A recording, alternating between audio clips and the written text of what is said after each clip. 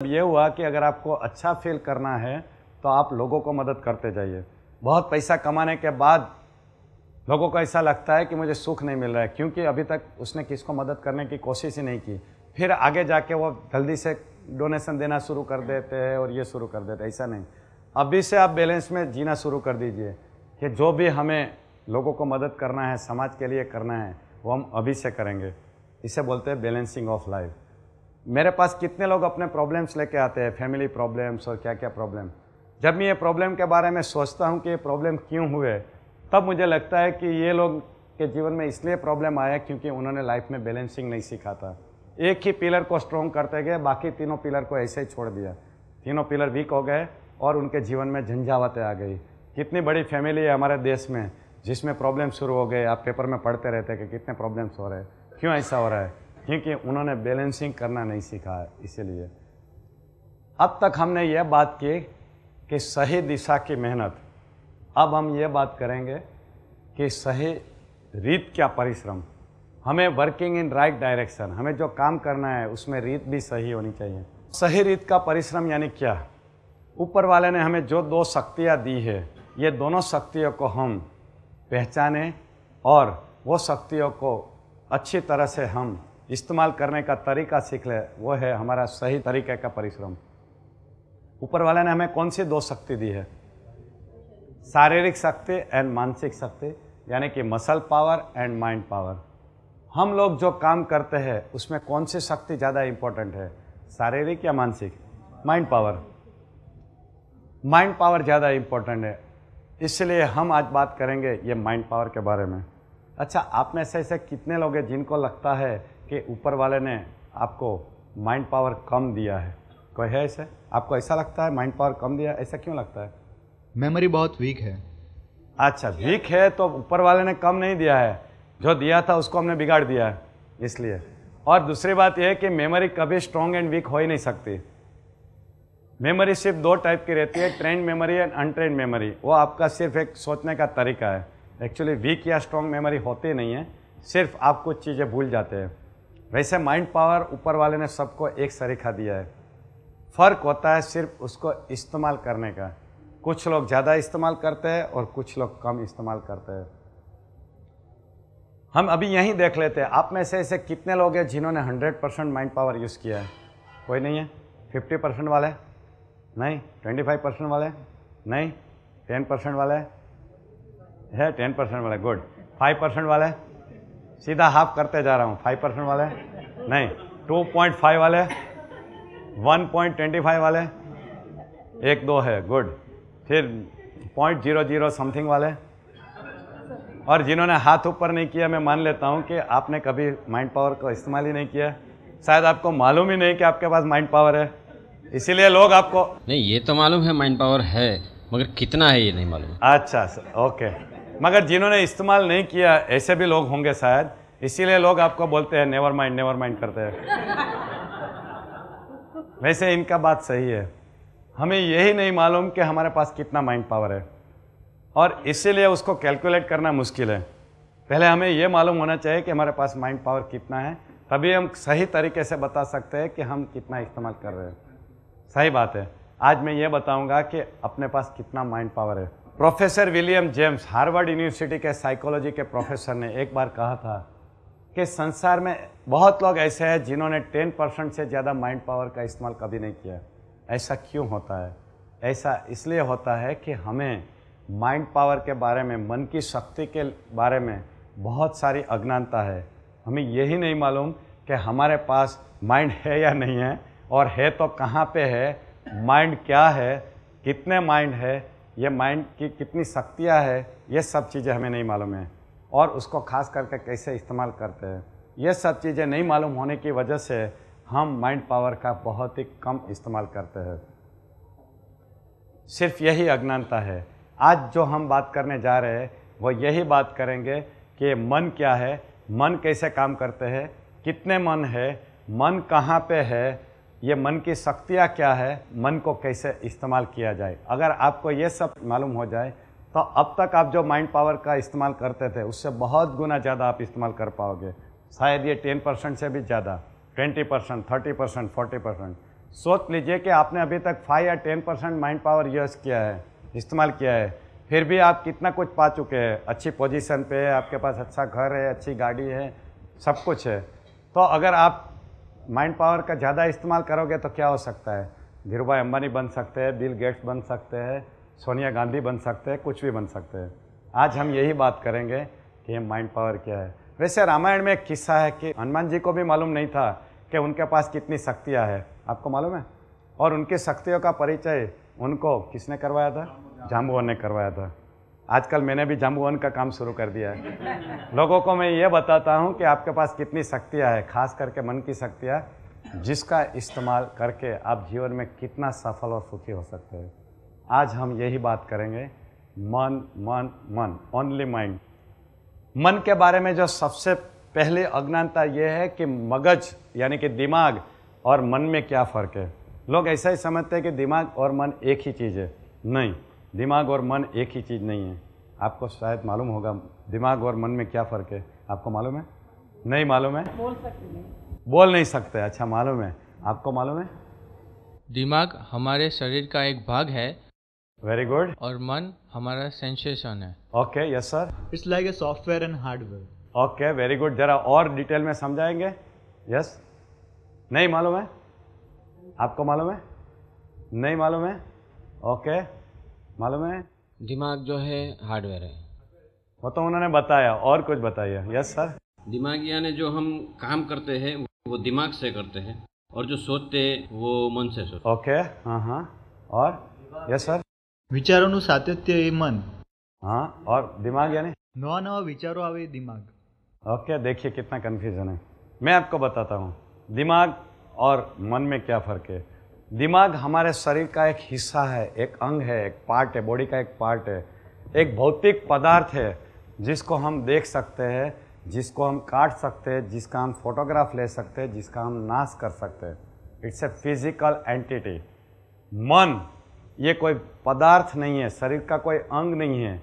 शरीर में से उत्पन्न होती शक्ति है, जिसको हम देख नहीं सकते। जिसको हम काट नहीं सकते, जिसके ऊपर ऑपरेशन नहीं कर सकते, जिसका फ़ोटो नहीं निकाल सकते, जिसका नाश नहीं कर सकते, जैसे बिजली है, इस दीवार में से बिजली बहती है, हम देख नहीं सकते, मगर बिजली का इस्तेमाल कर सकते हैं। कभी देखिए आपने बिजली नहीं देखी है? तो बिजली देखी नहीं है, फिर भी हम इस्तेमाल करते हैं, वैसा ही मन है। मन भी बिजली जैसी एक शक्ति है, जो हमारे शरीर में से उत्पन्न होती है और दुनिया की और शक्तियों के साथ जुड़ी हुई है। इन्होंने जैसे बताया कंप्यूटर के लैंग्वेज में दिमाग यानी हार्डवेयर, मन यानी सॉफ्टवेयर। हम जो इस्तेमाल करते हैं, वो सॉफ्टवेयर यूज़ करते हैं, जो हमारे हार्डवेयर के अंदर है। हमारे ये बॉडी, ये दिमाग, ये सब हमारा हार्डवेयर है। और उसके अंदर हमारा ये सॉफ्टवेयर रहता है, जिनको हम मन बोलते हैं। तो आज हम बात करेंगे, वो सॉफ्टवेयर की, जिसका हम प्रतिदिन यूज़ करते हैं, इस्तेमाल करते हैं। अब हम बात करेंगे मन की। हमारे पास ऐसे दो मन है, जागृत मन और अर्ध जागृत मन। इनका जैसे नाम है, वैसा ही इनके काम है। जागृत मन हमारी जागृत अवस्था में ही हम इस्तेमाल करते हैं।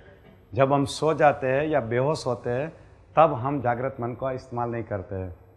अर्ध जागृत मन 24 घंटा काम करता है 24 फोर आवर्स काम करता है। ये दोनों में खास तफावत है। दूसरा एक खास तफावत यह है कि जागृत मन के पास सिर्फ़ 10 परसेंट पावर है, जबकि अर्ध जागृत मन के पास 90 परसेंट पावर है। ये खास तफावत है।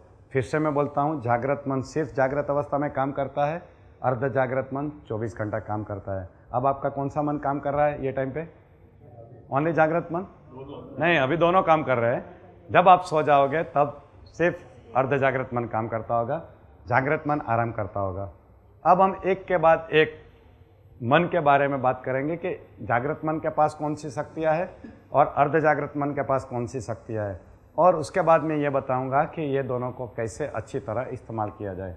तो पहले हम बात करेंगे जागृत मन की शक्तियाँ हमारी जो ये पाँच इंद्रियाँ है, ये इनके ऊपर कंट्रोल हमारा जागृत मन का है। आँख, कान, नाक, जीभ और हमारी चमड़ी, स्पर्श। ये पाँच इंद्रियों के ऊपर हमारा कंट्रोल जागृत मन से होता है। हम जो हलन चलन करते हैं, जो मूवमेंट्स करते हैं, ये मूवमेंट्स हम जागृत मन से करते हैं।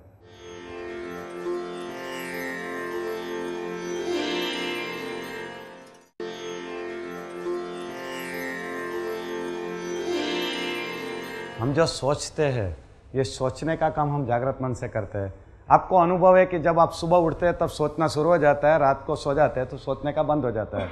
इसका मतलब ही ये हुआ कि जागृत मन से होते हैं। अगर अर्ध जागृत मन से हम सोचते थे तो रात भर भी सोचते रहते थे। ऐसा नहीं होता है।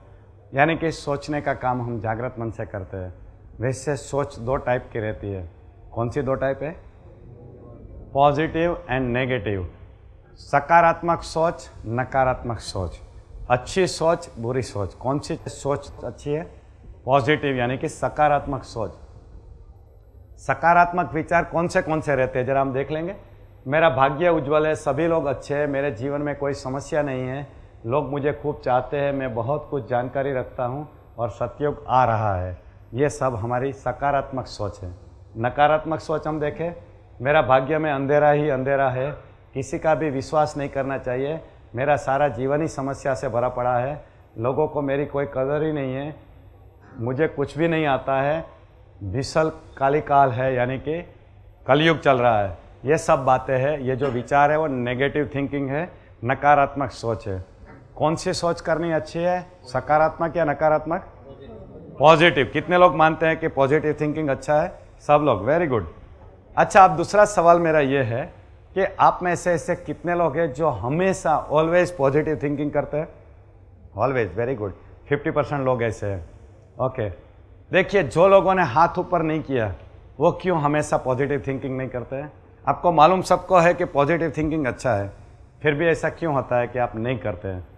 क्योंकि करना अलग बात है, जानना अलग बात है। हम सबको मालूम है सिगरेट पीना हानिकारक है। फिफ्टी परसेंट लोग पीते हैं। दारू पीना नुकसान करता है। फिर भी लोग करते हैं। क्योंकि हम जो करते हैं, वो हम सोचने के हिसाब से नहीं करते हैं हमारी आदत होती है। गुस्सा करना बुरी बात है, हमें मालूम है, फिर भी हम गुस्सा करते हैं। क्यों? क्योंकि ये हमारी आदत बन जाती है। और कंप्यूटर लैंग्वेज में आदत यानी क्या? प्रोग्राम्स हमारे यहाँ प्रोग्राम्स लिखे जाते हैं और ये प्रोग्राम हमें कंट्रोल करता है। हम ऐसा सोचते हैं कि हम आज़ाद है। नहीं, हम आज़ाद नहीं हैं। हम गुलाम है हमारी आदतों के, हमारे प्रोग्राम्स के। गुस्से होने का प्रोग्राम चिंता करने का प्रोग्राम नेगेटिव थिंकिंग करने का प्रोग्राम ऐसे बहुत सारे प्रोग्राम हमारे ये कंप्यूटर में भरा पड़ा है और ये प्रोग्राम हमें कंट्रोल करता है। हमें मालूम है कि गुस्सा नहीं करना चाहिए गुस्सा हो जाता है। हमें ये मालूम है कि नेगेटिव थिंकिंग नहीं करना चाहिए नेगेटिव थिंकिंग हो जाता है।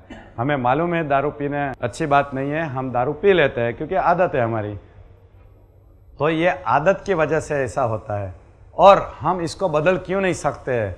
क्योंकि ये जो प्रोग्राम जहाँ पे पड़ा है, उसको अगर हम समझ नहीं पाए सबकॉन्शियस माइंड में पड़ा रहता है, वहाँ नहीं समझ पाए और उसको निकालने का हमें सही तरीका नहीं मालूम है, फिर हम इसको बदल नहीं सकते। इसीलिए मेरे पास कितने सारे लोग आते हैं, जिनकी ये आदत बदलनी है, उन्होंने बहुत सारे प्रयत्न किए, फिर भी ये नहीं कर सकते।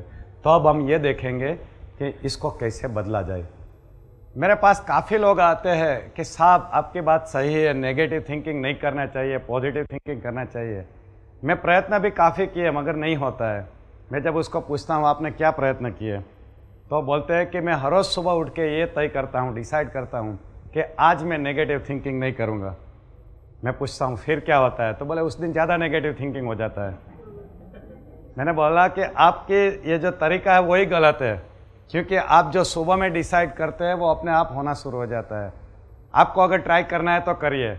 आप एक दिन सुबह उठ के डिसाइड कर लीजिए, तय कर लीजिए कि आज मैं बंदर के बारे में नहीं सोचूँगा। देखिए, पूरा दिन आपको बंदर की बातें याद आएगी। बंदर ही दिखेगा। आपने सुबह में बंदर को याद कर लिया, पूरा दिन आपको बंदर ही दिखेगा।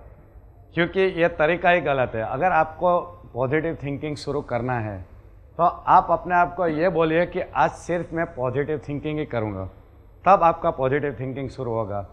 वैसे नेगेटिव थिंकिंग को दूर करके पॉजिटिव थिंकिंग के लिए हमें क्या करना चाहिए? जैसे हम अंधेरे को दूर करने के लिए जो करते हैं वही। अंधेरा यानी नेगेटिव थिंकिंग उजाला यानी पॉजिटिव थिंकिंग देखिए, पर्दे के ऊपर अंधेरा है नेगेटिव थिंकिंग है। उसको दूर करने के लिए हम क्या करेंगे? लाइट जलाएँगे, अपने आप अंधेरा दूर हो जाएगा।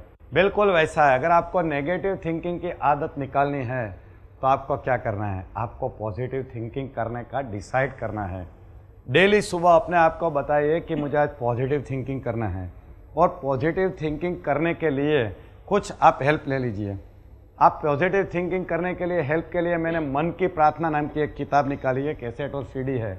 ये मन की प्रार्थना, ये पॉजिटिव कमांड है अपने लिए। अगर ये मन की प्रार्थना रोज़ सुबह में आप एक बार सुन लोगे या पढ़ लोगे तो आपके अंदर ये ऑटो सजेशन यानी स्व सूचन द्वारा सबकॉन्शियस माइंड में पॉजिटिव कमांड चले जाएँगे। और साइकोलॉजी मनोविज्ञान का एक सिद्धांत है कि आप जो काम 21 दिन तक कॉन्शियसली करते हैं, वो बाईसवें दिन पे आपकी आदत हो जाती है। यानी कि आप मन की प्रार्थना 21 दिन तक रेगुलरली करोगे एक भी दिन के छोड़ के बिना, यानी ब्रेक नहीं होना चाहिए। मान लो आप पंद्रह दिन पे भूल गए, एक दिन आपको प्रार्थना करने का टाइम नहीं मिला तो आपको सोलवा दिन को एक दिन गिन के फिर से शुरू करना है। क्योंकि मनोविज्ञान का सिद्धांत है कि 21 दिन तक जो काम हम प्रयत्न से करते हैं, वो बाईसवें दिन पे अपनी आदत हो जाती है। यानी कि आपको नेगेटिव थिंकिंग से पॉजिटिव थिंकिंग की आदत डालनी है तो आप 21 दिन तक पॉजिटिव थिंकिंग करिए, यानी कि मन की प्रार्थना पढ़िए या सुनिए। ध्यान से। तब आप पॉजिटिव थिंकर बन सकते हैं। दूसरी बात यह है कि कोई भी प्रार्थना का दो फ़ायदा होता है। एक मैकेनिकल एंड दूसरा साइकोलॉजिकल अगर आपको प्रार्थना के हर शब्द का अर्थ मालूम है, तब आपको साइकोलॉजिकल फ़ायदा होगा। अगर अर्थ मालूम नहीं है तो सिर्फ़ मैकेनिकल फ़ायदा होगा। इसलिए ऐसी प्रार्थना होनी चाहिए जिसका आपको अर्थ मालूम हो। ये मन की प्रार्थना के जो शब्द है, इतने सिंपल है, इतने सहले है कि आपको सब उसके अर्थ मालूम पड़ेंगे। ऐसे मेरे पास काफ़ी लोग हैं जिन्होंने मन की प्रार्थना 21 दिन तक करके अपने जीवन को बदल दिया है पॉजिटिव थिंकिंग करवा दिया है। दूसरी बात यह है कि हमारा नेगेटिव प्रोग्रामिंग हो क्यों जाता है और कब होता है?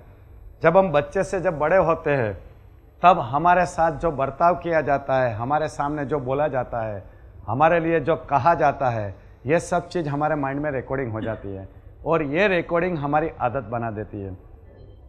अमेरिका में एक रिसर्च हुआ था, एक सर्वे हुआ था कि जब बच्चा पैदा होता है तो 18 साल तक उनके बारे में जो कहा जाता है, उसमें कितना नेगेटिव होता है, कितना पॉजिटिव होता है। उनके साथ परमानेंटली एक रिकॉर्डिंग मशीन चालू करके रख दिया गया। पैदा हुआ तब से 18 साल तक। और 18 साल के बाद जब उसको एनालाइज किया गया, पृथककरण किया गया, तब मालूम पड़ा कि अमेरिका में एवरेज हर बच्चा 18 साल पूरा करने के पहले 36 घंटे तक कंटिन्यूस चले ऐसे नेगेटिव कमांड ग्रहण करता है। अंदर ले लेता है। चाहे वो अपने पेरेंट्स से हो, शिक्षक से हो, टीवी से हो, पड़ोसियों से हो, कहीं से भी हो। कैसा? कि तू गधा है, तेरे में अक्ल नहीं है, तू कुछ नहीं कर पाएगा, ऐसे नेगेटिव कमांड सोच लीजिए कि आपको कोई बिठा के 36 घंटे तक तुम्हारे बारे में नेगेटिव बोलते रहे कि तुम्हारे में कुछ नहीं है, तुम कुछ नहीं कर पाएगा, तुम गधा है, तुम्हारा दिमाग अच्छा नहीं है। ऐसी बातें करते रहे तो आपके दिमाग की क्या हालत होगी? वैसे हमने इस सब की कथा सुनी हुई है। इस सब की कथा में है कि एक ब्राह्मीण अपने कंधे पे बकरी उठा के जा रहा था। उसको कुछ दुर्त लोग मिले। उनको लगा कि इनसे बकरी ले लेनी है। तो उन्होंने आइडिया किया, चार लोगों ने मिल के एक के बाद एक दूत आके उससे आके बात करता है और उसको मना लेता है कि उसके कंधे पे जो है वो बकरी नहीं है, कुत्ता है। पहला आदमी आके बोलता है, अरे ब्राह्मीण, तुम क्या कर रहा है? तुम्हें शर्म नहीं आ रही है? तेरे कंधे पे कुत्ता लेके जा रहा है। तेरा धर्म भ्रष्ट हो रहा है। तो ब्राह्मीण बोलता है, नहीं नहीं, ये कुत्ता नहीं है तो बकरी है। ठीक है, वो फिर निकल जाता है। दूसरा आता है, फिर वही बात करता है, अरे ब्राह्मीण, तुम क्या कर रहा है? कंधे पे कुत्ता लेके जा रहा है। तो बोलता है, नहीं, कुत्ता नहीं है, तेरे को दिखता नहीं है, जा यहाँ से।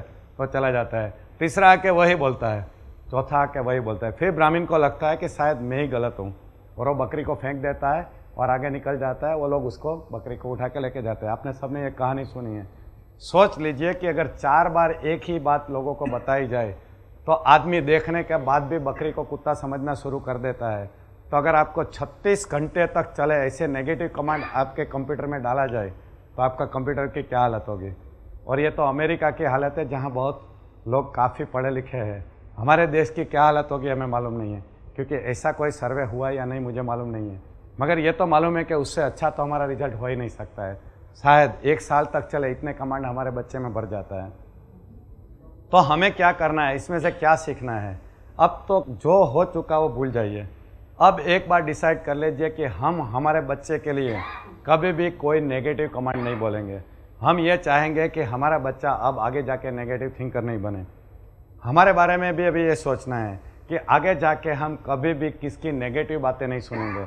कहीं भी नेगेटिव बातें चल रही है तो हम क्या करेंगे?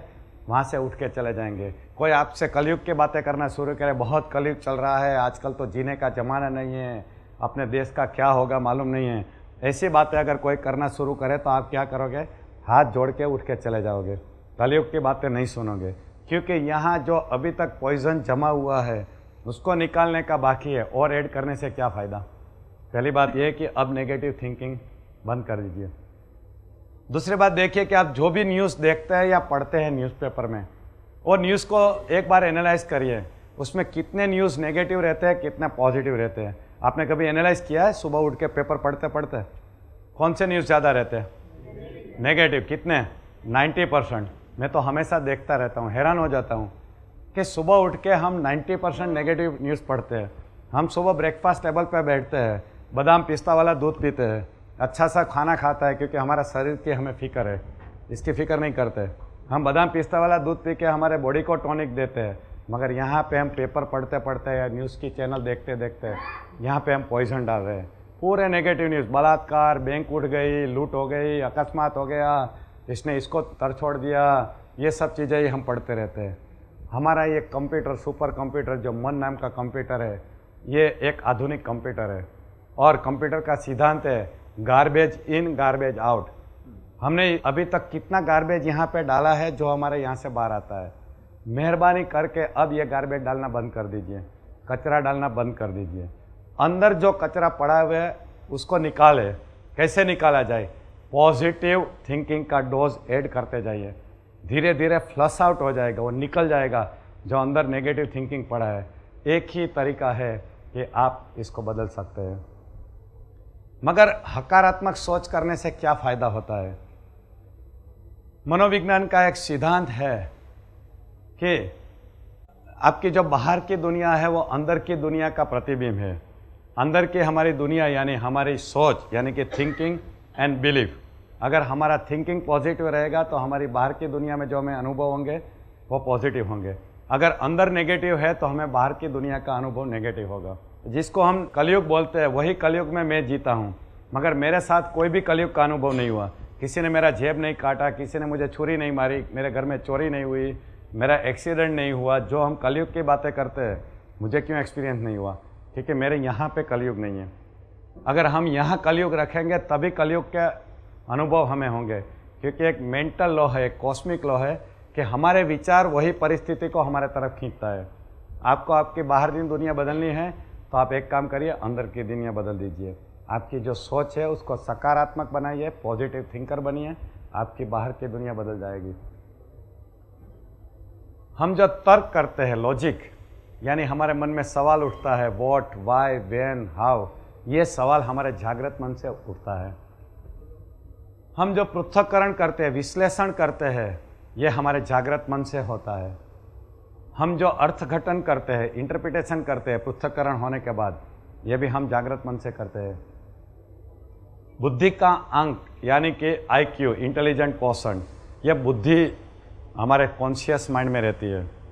जिससे नापने के लिए हम जो इस्तेमाल करते हैं, उसको हम आई क्यू बोलते हैं इंटेलिजेंट क्वेश्चन कुछ लोग ऐसा मानते हैं कि जिसका आई क्यू ऊँचा रहा, वो हमेशा जीवन में सुखी होता है, सफल होता है। सही बात है? नहीं। आई क्यू का रोल हमारे जीवन की सफलता के लिए और सुख के लिए कितना है? Only ten to twenty percent फिर ज़्यादा ज़रूरी क्या है? E Q and S Q E Q यानी इमोशनल क्वेश्चन एस क्यू यानी स्पिरिचुअल क्वेश्चन ये जो दोनों है E Q and S Q वो हमारे अर्ध जागृत मन के पास है। जागृत मन के पास सिर्फ़ आई क्यू है। और देख लीजिए कि हमारे स्कूल में जो हम ट्रेनिंग लेते हैं स्कूल और कॉलेज में, बचपन से बड़े होते रहते हैं, तब तक हमें जो ट्रेनिंग दी जाती है, वो किस चीज़ की ट्रेनिंग है? सिर्फ़ आई क्यू बढ़ाने की ट्रेनिंग बहुत कम स्कूल ऐसी है जहाँ पे क्यू और एस क्यू बढ़ाने के बारे में कोई सिलेबस है, कोई ट्रेनिंग प्रोग्राम है। हम कहीं नौकरी के लिए जाते हैं तो हमारा क्या चेक किया जाता है? हमारा आई क्यू चेक किया जाता है। ई क्यू और एस क्यू चेक नहीं किया जाता। इसीलिए कभी ऐसा होता है कि हाईली इंटेलिजेंट आदमी हमारे ऑर्गेनाइजेशन में आता है, मगर उनका ई क्यू या एस क्यू कम होने से ऑर्गेनाइजेशन को नुकसान करता है। हम अगर हमारी पर्सनालिटी अच्छी करनी है डेवलप करनी है तो ये दो टाइप की पर्सनालिटी है। बाहर की पर्सनालिटी अंदरूनी personality inner personality outer personality computer की भाषा में बोले तो hardware personality and software personality तो ये अंदर की पर्सनालिटी यानी कि सॉफ्टवेयर पर्सनालिटी यानी क्या? I Q E Q S Q जब हम हमारे विकास के बारे में सोचें, हमारा व्यक्तित्व विकास करें, तब हमें यह देखना है कि हमें हमारा फ़िज़िकल पर्सनालिटी सुधारना है और अंदर की पर्सनालिटी यानी आई क्यू एस क्यू और ई क्यू तीनों सुधारना है। हमारे सामने जो अपॉर्चुनिटीज़ आती है, मौके आते हैं, उसको पहचान लेना और उसको पकड़ना, ये काम हम जागृत मन से करते हैं। आज आपके सामने एक अपॉर्चुनिटी आई ये प्रोग्राम में आने की और उसके बारे में सीखने की।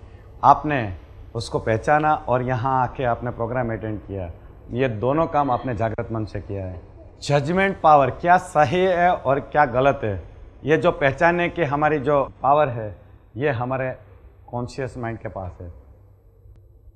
हम जो निर्णय करते हैं डिसीज़न लेते हैं, वो भी हम जागृत मन से करते हैं। आपको मालूम है कि आप जो भी डिसीज़न लेते हैं, वो जागृत मन से दिन को लेते हैं, रात को कोई नहीं लेता है, क्योंकि रात को जागृत मन काम नहीं करता है।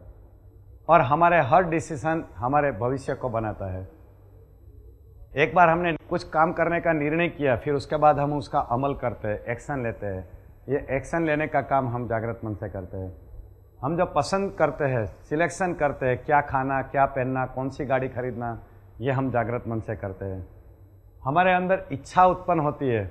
ये इच्छा हमारे जागृत मन से होती है। आपको मालूम है, सुबह उठते हैं तो इच्छाएँ शुरू हो जाती है। रात को जब सो जाते हैं, इच्छाएँ पूरी हो जाती है। इसका मतलब ये जागृत मन से उत्पन्न होती है। अब सबसे अगत्य का काम हमें जो करना है, जो जागृत मन की ज़िम्मेदारी है, जो हम नहीं करते हैं या जानते नहीं हैं, वो ये है। हमें जागृत मन से अर्ध जागृत मन के दरवाजे पर खड़ा रह के पहरेदारी करनी है, चौकीदारी करनी है। ऐसा क्यों? क्योंकि अर्ध जागृत मन बहुत ही पावरफुल मन है, मगर उसकी कुछ विचित्रता है, उसकी कुछ ऐसी खासियतें हैं, जिसकी वजह से अगर उसकी चौकीदारी नहीं की तो ऐसा हो सकता है कि हमारे जीवन में बहुत सारी समस्या पैदा हो जाए। ऐसी कौन सी विचित्रता है जिनकी वजह से हमें ये चौकीदारी करनी पड़ती है? उसकी पहली विचित्रता यह है कि नकारात्मक आदेश का अमल वो तुरंत ही कर देता है। उसको नेगेटिव कमांड पे काम करना अच्छा लगता है। उसकी दूसरी खासियत ये है कि वो मज़ाक नहीं समझता है। उसको आप मज़ाक में भी कुछ नेगेटिव बोलोगे तो मज़ाक नहीं समझेगा। उसको हकीकत समझ के जीवन में प्रॉब्लम कर देगा। तीसरी खास बात यह है कि सिर्फ़ आपका नहीं, दूसरे का कमांड भी ले लेता है। इसीलिए हमें ये भी देखना है कि हमारी तरफ़ से कोई नेगेटिव कमांड उनके पास नहीं चला जाए। और दूसरे के अगर कोई नेगेटिव कमांड हमारे पास आ रहा है तो उसको भी हम रोक लें। चौकीदारी का काम हमें दो तरीके से करना है। एक तो हमारे नेगेटिव कमांड को हमें रोकना है और दूसरे के कमांड को भी हमें रोकना है। और ये क्यों रोकना है? क्योंकि खास बात यह है कि एक बार नेगेटिव कमांड अर्ध जागृत मन के पास चला गया, फिर आप उसको वापस नहीं ले सकते। अर्जुन के तीर जैसा है, एक बार छूट गया छूट गया, उसको आप वापस नहीं ले सकते। इसीलिए ज़रूरी है कि हमें नेगेटिव कमांड को अपने तरफ़ रोकना है। ये चार बातें ऐसी है जो हमें मजबूर करती है कि हम अर्ध जागृत मन के ऊपर चौकीदारी करें, पहरेदारी करें। क्योंकि अगर ये काम में हम फेल हो गए तो हमारे जीवन में बहुत सारे प्रॉब्लम हो सकते हैं। क्योंकि अर्ध जागृत मन एक विचित्र मन है। वैसे फ़िल्मों में से बहुत काफ़ी बातें सीखने को मिलती है। आप लोग हिंदी फ़िल्में देखते हैं नहीं देखते? फ़िल्में दो तरीके से देखी जाती है, दिल से और दिमाग से। आप में ऐसे ऐसे कितने लोग हैं जो दिमाग से फ़िल्में देखते हैं? कोई नहीं। हिंदी फ़िल्मों में दिमाग की ज़रूरत नहीं रहती है क्या? नहीं, ऐसी बात नहीं है। हिंदी फ़िल्मों में भी अगर दिमाग इस्तेमाल किया तो काफ़ी चीज़ें सीखने को मिलती है। एक ऐसी फ़िल्म मैंने देखी थी जिसमें ये एग्ज़ाम्पल बहुत अच्छी तरह से आया हुआ था। और ये फ़िल्म का नाम है हम दिल दे चुके सनम। आप में से कितने लोगों ने देखी है फ़िल्म? गुड, सभी ने देखी है।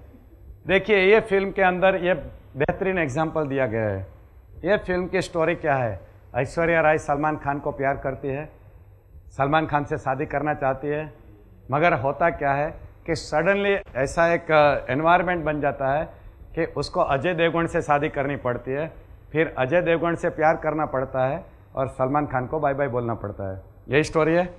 ऐश्वर्या राय जो सलमान खान को सिंसियरली प्यार करती थी, सलमान खान के साथ शादी करना चाहती थी और घर बसाना चाहती थी। मगर उसके लाइफ में ऐसा चेंज क्यों आया? यू टर्न क्यों आया कि उसको अजय देवगन के साथ शादी करनी पड़ी? अजय देवगन के साथ जीवन बिताना पड़ा ऐसा क्यों हुआ? इसमें सबकॉन्शियस माइंड का सिद्धांत है। ऐश्वर्या राय गलती से एक नेगेटिव कमांड बोल देती है और ये नेगेटिव कमांड जैसे ही ख़त्म होता है और स्टोरी में यूटर्न आना शुरू हो जाता है। आपको याद ये कौन सा डायलॉग था जिसने ये पूरा यूटर्न दे दिया? यस सर तुम देखते रहोगे कोई मेरी ज़िंदगी में आएगा और मुझे ले जाएगा। वेरी गुड यानी कि आपने ये पिक्चर दिमाग से देखा है। वेरी गुड वंडरफुल देखिए, हिंदी पिक्चर दिमाग से देखने से क्या फ़ायदा होता है? ऐश्वर्या राय का जब सलमान खान के साथ झगड़ा होता है, तब गुस्से में बोल देती है, कल शादी में जा रही हूँ, बहुत सारे मेहमान आ रहे हैं।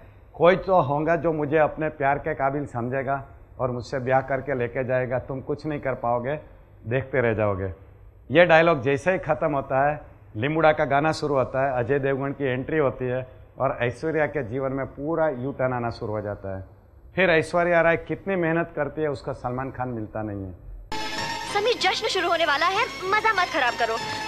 ठीक है बोलो अपनी दिल की बात मैं सुनूँगी। क्या कहना चाहते थे तुम? मैं अब यही कहना चाहता हूँ कि तुम मेरे प्यार के काबिल नहीं हो। अच्छा बैठे रहो फिर। शादी में बहुत सारे लोग आए हुए हैं। कोई तो होगा जो मुझे प्यार के काबिल समझेगा। और आज अगर उसने मेरा हाथ बाबा से मांग लिया ना तो फिर तुम देखते रहना, खट्टे निम्बुड़े।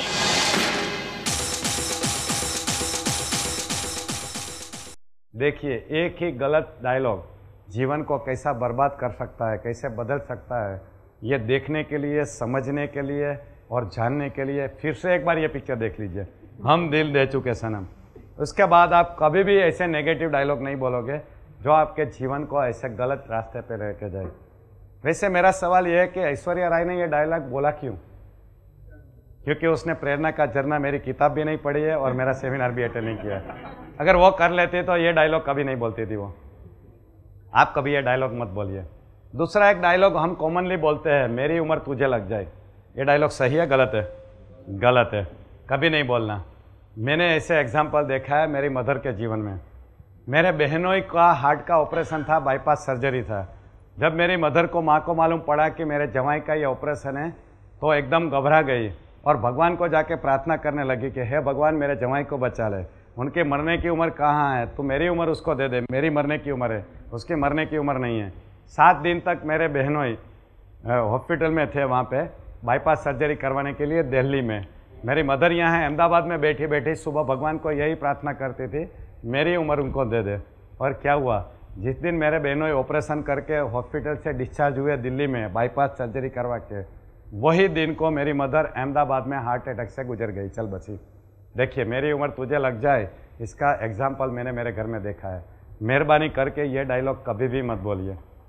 ये प्रोग्राम अटेंड करने के बाद अगर आपको ये डायलॉग बोलना ही है तो इसको बदल दीजिए। मेरी उम्र भी बढ़ जाए और तुम्हारी उम्र भी बढ़ जाए। हम दोनों मज़ा करें। ये डायलॉग को ऐसा बदल दीजिए। एक हॉस्पिटल के ऊपर एक बहुत अच्छा बोर्ड लगा हुआ था। मुझे बहुत पसंद आ गया तो मैंने लिख लिया। देखिए बोर्ड में क्या लिखा था। यहाँ एक दर्दी आया था, उसको बिच्छू ने काट लिया था। चार घंटे तक इलाज चला, तब जाकर ठीक हो गया और उसे छुट्टी दी। दूसरी लाइन लिखी थी, यहाँ एक दर्दी आया था जिसे कुत्ते ने काट लिया था।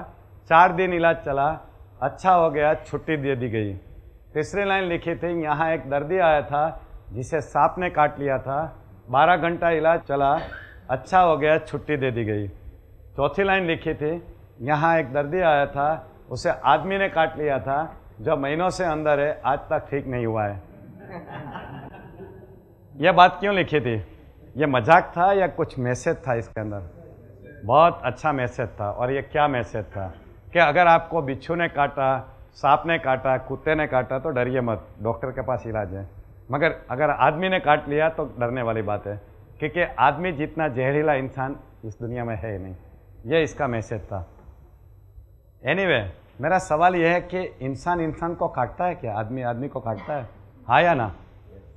यस और नो नो अच्छा कितने लोग मानते हैं काटता है? यस कितने बोलते हैं? गुड कैसे काटते हैं? कैसे काटता है? आदमी आदमी को कैसे काटता है? देखिए आजकल कुत्ते भी सोचते हैं कि हमारा काम ये आदमी ने कैसे संभाल लिया? ये तो हमारा काम था काटने का। अच्छा कैसे काटता है? मन पे कैसे घाव करता है? बुरा बोल के वेरी गुड हाँ हम जो काटते हैं वो दांत से नहीं, हमारी जबान से काटते हैं, हमारे शब्द से काटते हैं। देखिए, कैसी जबान हम यूज़ करते हैं? तुझ में तो जरा से भी अक्ल नहीं है। यह बात तेरी समझ में नहीं आएगी। मेरे तो भाग्य ही फूटे हैं जो तुम्हारे साथ पाला पड़ा। तुम कभी नहीं सुधरेगी। तुम एक दिन परिवार का नाम डुबो के ही रहेगी। तुम अपने जीवन में कुछ भी नहीं कर पाओगे। ऐसे जो डायलॉग है वो जब सामने वाला सुनता है, तब उसका नेगेटिव प्रोग्रामिंग हो जाता है। हम उसको काटते हैं। और जिसका ज़्यादा नेगेटिव प्रोग्रामिंग हो गया, वो जीवन में हमेशा के लिए बिना काम का हो जाता है, बिल्कुल निकम्मा हो जाता है। इन्फेरिटी कॉम्प्लेक्स डिप्रेशन ये सब बीमारी है। ये ऐसे नेगेटिव कमांड से आती है। मेहरबानी करके ऐसे नेगेटिव कमांड किसी के लिए इस्तेमाल मत कीजिए। क्योंकि अगर ऐसे कमांड यूज़ करना शुरू किया और सामने वाले का नेगेटिव प्रोग्रामिंग हो गया, फिर क्या होगा? वो जीवन में कुछ काम का नहीं रहेगा। साइकेट्रिक इलनेस मानसिक बीमारियाँ शुरू हो जाएगी। और आपको मालूम है कि मानसिक बीमारियाँ एक बार हो गई तो उसको ठीक करना कितना मुश्किल काम है। इसलिए कभी ऐसे डायलॉग मत बोलिए। एक बार मेरे पास एक आदमी आके मुझे पूछता है कि, जीतू भाई, मुझे समाज सेवा करनी है, मैं कैसे करूँ? तब मैंने उसको क्या जवाब दिया था? समाज सेवा शुरू करनी है तो एक काम करिए, किसको काटना बंद कर दीजिए। किसी को काटिए मत, क्योंकि हम जो भी कुछ करते हैं उसमें सबसे ज़्यादा जो नुकसानकारी काम है वो यही है। दूसरे के लिए नेगेटिव काम करना है। यानी कि हम दूसरे को काटते हैं। अगर हमें समाज सेवा शुरू करनी है तो पहले ये डिसाइड कर लेंगे कि हमें दूसरे के लिए कभी भी नेगेटिव कमांड यूज़ नहीं करना है। आप में से ऐसे कितने लोग मानते हैं कि जीतू भाई की बात सही है कि हम दूसरे के लिए नेगेटिव कमांड यूज़ नहीं करें? वो सबसे बड़ी समाज सेवा है, हाथ ऊपर कीजिए। गुड फिर एक हम काम करते हैं। हम खड़े होकर एक शपथ लेते हैं, एक प्रतिज्ञा करते हैं। हुँ? जो हमारे जीवन में बहुत ज़रूरी प्रतिज्ञा है। आप सब अपनी जगह पे खड़े हो जाओगे और मैं आपसे प्रतिज्ञा करवाता हूँ। हाथ ऐसा करके।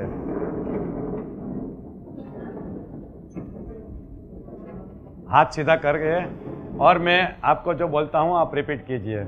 मैं आज के बाद कभी भी किसी को भी जाने या अनजाने में काटूँगा नहीं। थैंक यू बैठ जाइए। आपने बहुत बड़ी प्रतिज्ञा कर ली। मेहरबानी करके इस प्रतिज्ञा को पालिए। जीवन की सबसे बड़ी प्रतिज्ञा है समाज सेवा शुरू करने के लिए। किसी के लिए भी कभी भी कोई नेगेटिव कमांड यूज़ नहीं करना है। मगर आपको यह नहीं लगता कि प्रतिज्ञा आपने बहुत कम लोगों ने ली है, मगर इस शहर में तो बहुत सारे लोग हैं, जिनको इसके बारे में कुछ ज्ञान नहीं है। वो लोग जिनको ये ज्ञान नहीं है, वो तो अपनी आदत से आपको काटते रहेंगे। और आपको नुकसान करते रहेंगे। तो आपको अपने आप को ये काटने से कैसे बचाना है या इसके जहर से कैसे बचाना है, ये आपको नहीं लगता है कि आपको जान लेना चाहिए? जानना चाहिए या नहीं? ठीक है, मैं आपको ये बताता हूँ कि अगर और लोग हमें काटे तो हमें अपने आप को कैसे बचाना है? देखिए, मैं डॉक्टर हूँ तो डॉक्टर बीमारी से बचाने के लिए क्या करते हैं?